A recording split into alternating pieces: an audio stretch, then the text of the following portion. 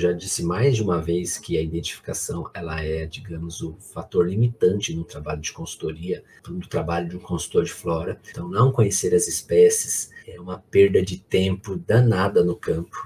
E o que a gente precisa realmente é se dedicar ao que realmente precisa para você realizar uma identificação segura. Então, acho que esse é um ponto importante, né, no qual vocês devem é, pensar. Aí tu fala, Rodrigo, então os livros não são bons para identificação? Claro que não. Eles são bons. Eles sem, certamente eles são muito apropriados, mas você tem que usar da forma correta, né? E no nosso curso presencial eu vou ensinar tudo isso. Não adianta, você tem que abrir o livro já pensando em algumas ideias. Pô, essa planta que eu estou coletando aqui é uma poltéria do, da família Sapotácea. Deixa eu olhar as poltérias lá. Né? Eu tenho que olhar uh, especificamente as espécies dentro de um grupo específico do livro, os manuais fotográficos de forma geral. Então, gente, para quem abre o negócio ali de uma forma caótica, a chance de sucesso é muito baixa e você vai ter muita insegurança na sua identificação.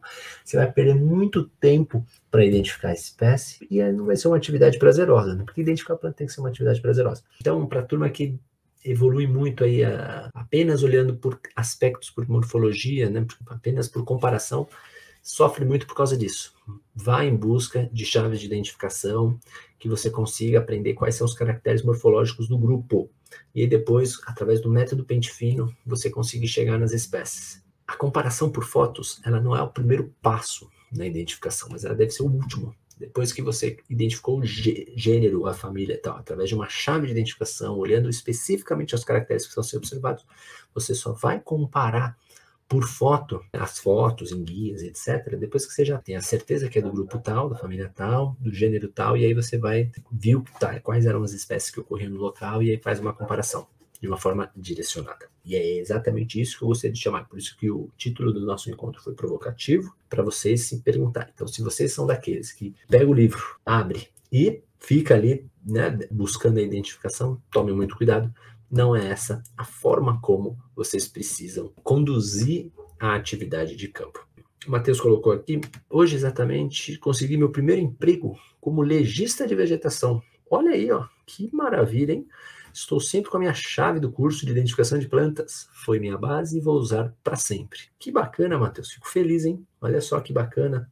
Agarra essa oportunidade aí, meu caro, e aproveita bastante para que seja aí a primeira oportunidade de muitas outras que você terá aí ao longo da sua trajetória.